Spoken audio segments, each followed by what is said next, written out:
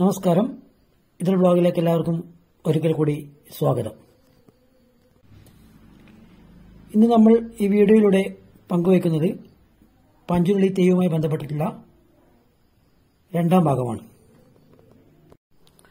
ദക്ഷിണ കർണാടകയിലും കാസർഗോഡും കെട്ടിയാറാറുള്ള ഉഗ്രമൂർത്തി തെയ്യമാണ് വരാഹസങ്കല്പത്തിലുള്ള പഞ്ചുരുളി തെയ്യം. തുളു ഭാഷയിൽ പഞ്ചുരുളി എന്നാൽ വരാഹം അഥവാ പന്നി എന്നാണ് അർത്ഥം. പഞ്ചി ഒരു കാളിയാണ് പഞ്ചുരുളിയായി മാറിയതത്രേ. ദേവി മഹാത്മ്യത്തിൽ ശുംഭാസുരനെയും നിശുംഭാസുരനെയും നിഗ്രഹിക്കാനായി ചണ്ഡികാദേവി അവതരിച്ചപ്പോൾ രക്തബീജൻ എന്ന അസുരൻ തന്റെ അക്ഷോണി പടയുമായി യുദ്ധത്തിനൊരുങ്ങി. ഇത് കണ്ട ചണ്ഡികാദേവി ഒരു ശംഖനാഥം പുറപ്പെടുവിച്ചു.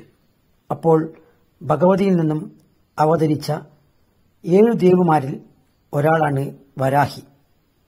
വരാഹി സങ്കല്പത്തിലുള്ള തെയ്യമാണ് പഞ്ചുരുളി തെയ്യം എന്നറിയപ്പെടുന്നത്. അപ്പോൾ നമുക്ക് വീഡിയോയിലോട്ട് പോകാം.